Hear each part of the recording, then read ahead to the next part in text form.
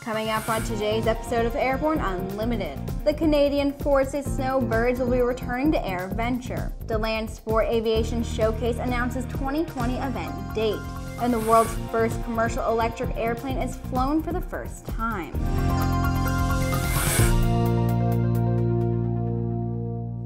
Happy Friday and welcome to the show. I'm your host, Sophie Hurlock. The Canadian Forces Snowbirds will make AirVenture a part of their 50th year performance schedule in 2020. The announcement was made official at the ICAS convention, and this will be the first time the Snowbirds have appeared at AirVenture since 2016.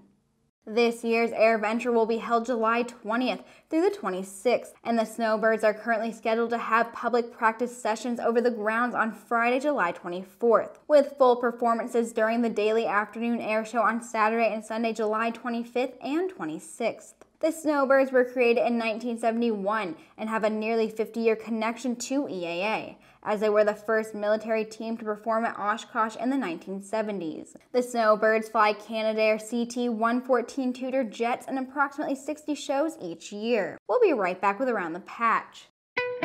There's a difference between charting a steady course and pushing for the ceiling. And for nearly a century, Hartzell Propeller has been defining that difference. It's in our passion for engineering and research and our dedication to testing the limits of performance. We are built on honor. We are Hartzell Propeller.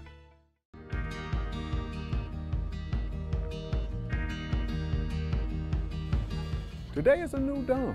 With a new name. Un nuevo logotipo. A new factor. Und einen globalen Kundenfokus. We are Continental Aerospace Technologies and we stand behind you.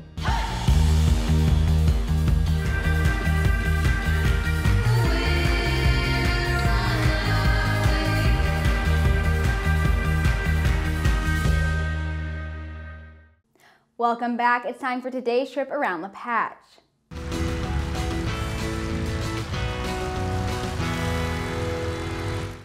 Boeing and Bell Textron delivered the first modified MV-22 Osprey to the Marine Corps. The Marines have multiple configurations of the MV-22 aircraft in service. Under the Common Configuration Readiness and Modernization Program, Bell Boeing is reducing the number of configurations by upgrading Block B aircraft to the current Block C configuration. The next CC RAM delivery is expected in early 2020.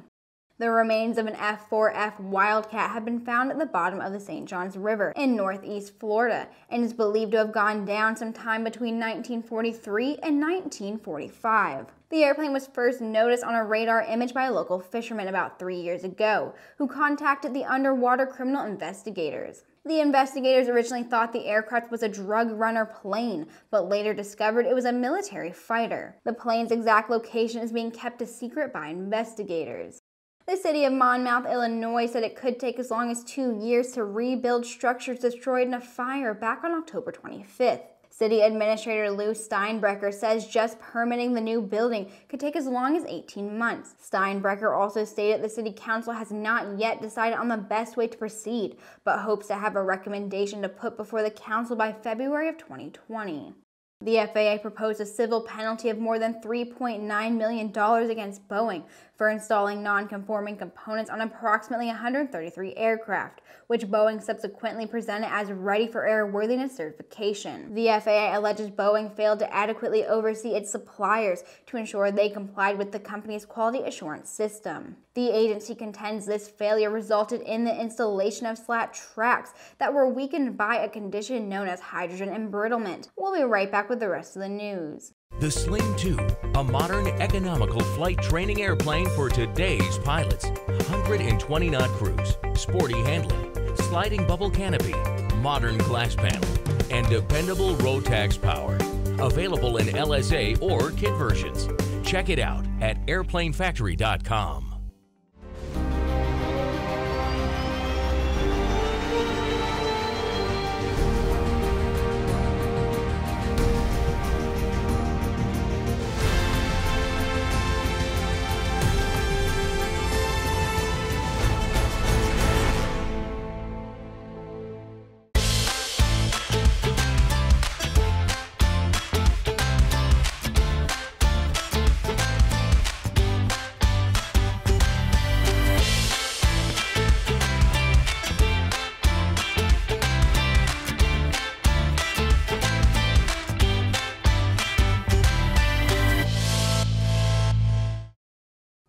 The DeLand Sport Aviation Showcase has been studying results, comments, and statistics from the recently concluded 2019 event and is now ready for their next event, which will be held November 12th through the 14th of 2020.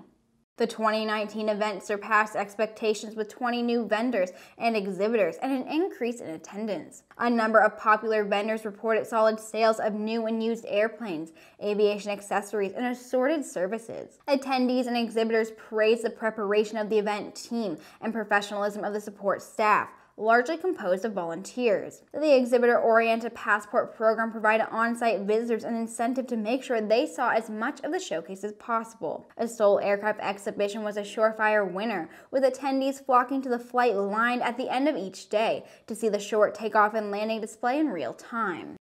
Harbour Air, North America's largest seaplane airline, and magniX the company powering the electric aviation revolution announced a very short but otherwise successful flight of what they call the world's first all-electric commercial aircraft. The successful flight of the ePlane took place on the Fraser River at Harbour Air Seaplanes Terminal in Richmond Tuesday morning. The plane was piloted by Harbour Air CEO and founder Greg McDougall. Earlier this year, Harbour Air announced its partnership with magniX and the company's intention to build the world's first completely electric commercial seaplane fleet. The magni500, which was unveiled at the Paris Air Show in June, is a high power density electric propulsion system that provides a clean and efficient way to power airplanes. magniX and Harbour Air will now begin the certification and approval process for the propulsion system and the retrofitting of the aircraft. Once the certification is complete, the rest of the fleet can be magnified with magniX's all electric propulsion technology. And that's it for our week, everyone. Don't forget to click subscribe and to check us out on Facebook and on Twitter. To stay up to date on the latest aviation and aerospace news this weekend, just head over to aero-news.net. Have a wonderful weekend and I'll see you Monday.